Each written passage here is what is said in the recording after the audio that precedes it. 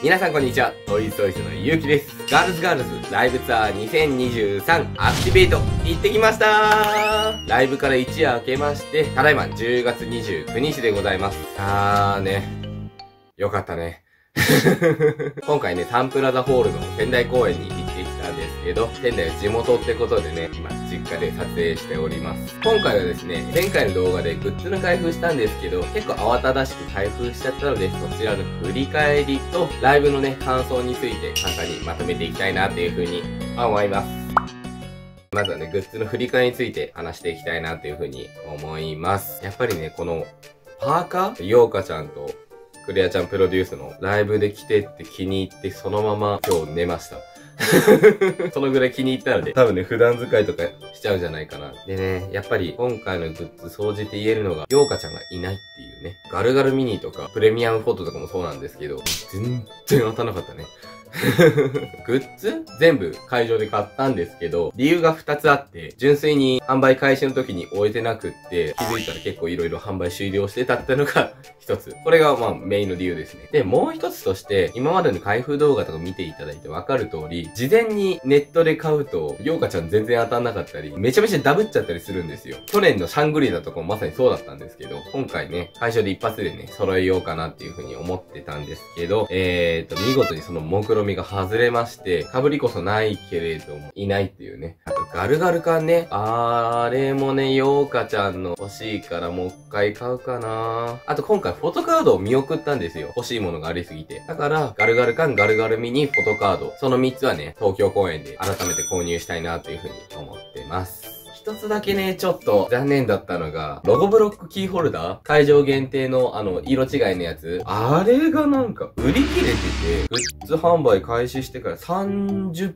分するかしないかだったんですけども、即完売してて、あれ、欲しかったんだよなネットで買えるものとかでもないじゃないですか。リベンジもできないからさ、もうちょっと数用意して欲しかったな、運営さん。例年こういうペナントキーホルダー、エンジョイザグッデイズで大丈夫で、シャングリーラの出してたんですけど、今年ロゴブロックキーホルダーってことで、またいつもと違う感じのグッズだったんですけど、あー、あれ欲しかったなぁはい、続きまして、ライブの感想について移りたいと思います。ライブ全体の感想について喋ってから、細かいね、メンバーごとの話とかしていきたいなっていうふうに思ってます。一応ね、あの、瀬取りとか演出について多少触れてしまうので、ネタバレ嫌だよっていう人は今出てる時間までスキップしていただければなというふうに思います。それでは、カウントダウン、スタート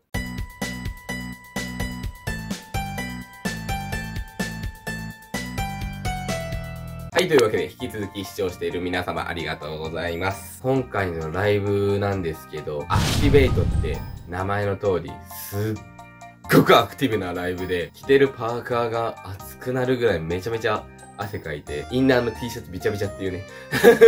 ライブで着てって気に入ってそのまま今日寝ました。もうそのぐらい活発で激しく動いたライブでしたね。人差し指のとこにペンダコできて、僕ペンライト結構持ってるんですけど、ライブの時にこうやって持ってたんですよ。したらちょうどここのところに指が当たっちゃって、ペンダコ、ペンライトダコっていうのかないったー。文字通り手に汗握る、ペンライト握ってタコできるぐらいね、楽しいライブでしたね。今回のライブで思ったのが、コロナ禍が終わったな、終わってないんだけど、いや、なんか、やっと落ち着いたなっていう風に思うんですよね。前回の動画とか見ていただいてわかる通り僕、マスクしてないんですよ。マスクなしで参戦できるっていうのと、席を立って、立ち上がって、声出してバンバン出して、ライブを楽しめるっていうのと、アンコールの時にメンバーが降りてくるっていうか、降りてくるっていうか、客席のあの入り口のところからバッて出てきて、通路とか通ってって、とか、EXPG 仙台の子たちが一緒にパフォーマンスしたりとか、アリシヒのガールズ戦士のライブ僕は生で見たことないんですけど、映像で見る限り、そういう演出があったのは知ってるので、やっとね、そういった本来やりたかったことができるライブになったのかな。だから文字通りね、アクティベート、アクティブなライブだったのかなって思いましたね。僕自身ね、今回5ヶ月ぶり ?5 月のファンミ以来の参戦なので、本当に久しぶりの参戦だったんですね。本当にあの動画の更新頻度を見ていただければわかる通り、めちゃめちゃ忙しくて、やっとね、この夏の終わりとともに落ち着いてきたんですけど、やっとね、念願のガールズのイベントに参加できて、もうずっとね、ペンライトとか振りながら、泣きそうでしたね。なんなら多分、目にね、涙浮かべてるぐらいの感じでずっといたんですけど、メンバーのね、パフォーマンスを生で見られる喜びってのが一つと、さっき言った通り立ち上がってペンライト持って声出してっていうライブ感も相まって、もうずっと心動かされてる感じ。それこそあの、4、5月のファンミの時は、マスクもしてるし、久々の発声解禁だから、どこまで声出していいのかわかんないのかなみたいなのが、自分含め、客席全体としてやっぱりあったんですよ。僕が参加した4月ファンミの東京公演、あれって確かあの、発声解禁一発目とかじゃなかったかな。メンバーもどこまで煽っていいかわかんないし、ファンもどこまで声出していいかわかんないし、みたいなところはあったんですけど、それに比べたらもう、客席の7割ぐらい立ち上がって盛り上がってたし、隣の人が多分、中高生ぐらいの女の子とお母さんと親子だったんですけど、席ね、見やすいように入れ替えたりしながら、声出して楽しんでんの見て、なんかやっとそういうの戻ってきたんだなって、戻ってくる前のことは知らないけど、なんかそういうのもファンの一人として喜ばしいことだなっていうふうに思いました。続いてあのメンバー個人個人の話していきたいなっていうふうに思います。まず、ゆずはちゃん。誰よりもひたむき？歌もダンスもね、全力で、さすが元アイドル選手といったところでしょうか。ファンとかメンバーとか関係なく、あの会場で誰よりも楽しんでるのは多分ゆずちゃんで、その楽しさとか元気がこっちにも伝わってくるんです。曲始まる時の煽りとかもやっぱ一番うまいね。続いて、ももかちゃん。グッズとか見ていただいた通り、めちゃめちゃももちゃんを持ってる僕なんですけど、感想をいただきました。ありがとうございます。さっき言ったアンコールの後にメンバーが下に降りてくるっていう時に、通路をこう練り歩くんです。僕も通路側だったんですけど、メンバーが通らない方の通路。だから僕がいて、こっちに通路があるけど、メンバーが通るのが向こう側の、ここにダーってお客さんがいる向こう側の通路なんで、見えづらいんですよ。届かないんですよ。だけどね、ももちゃんが通路の後ろの方、視覚がなくて見えやすい時にペンライト青にして、きつねこうこうやってやったら、こうやって返して、くれたの今回のライブも、ももちゃん会でしたね。さすがの歌姫といったところでしょうか。ももちゃんの歌唱力やっぱえげつないですね。バラードパートがこう続いた時に、ももちゃん連チャンで歌ってたんですけども、全然関係ない。連チャンの歌唱も何のそのこういったところが、ももちゃんが歌姫と呼ばれるゆえんなのかなってみさきちゃんですね。みさきちゃん、あの、髪型超可愛かったね。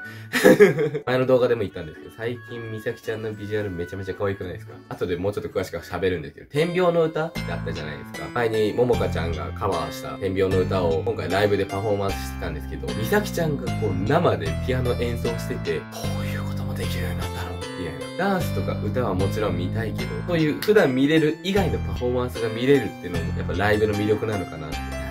ピアノ良かったんですよね。エンジョイザグっていうだったかな？最後の MC の時に、いろいろみんな変わっていくけど、それでも私たちについてきてもらえたら嬉しいですみたいなこと言ってたんですよ。みんな髪染めたり髪切ったりとか、ちょうど曲調が変わって